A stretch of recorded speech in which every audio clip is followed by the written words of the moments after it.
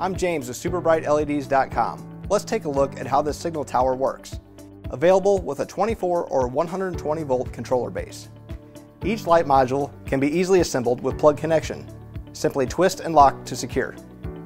The black controller base powers up to five light modules and has an integrated dip switch, allowing you to select a continuous or pulsing buzzer tone with high or low volume and steady or flashing light modes on each individual module.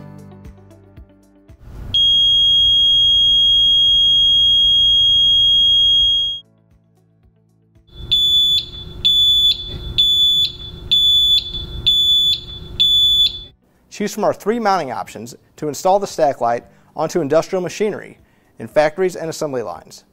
Thank you for visiting us at SuperBrightLEDs.com.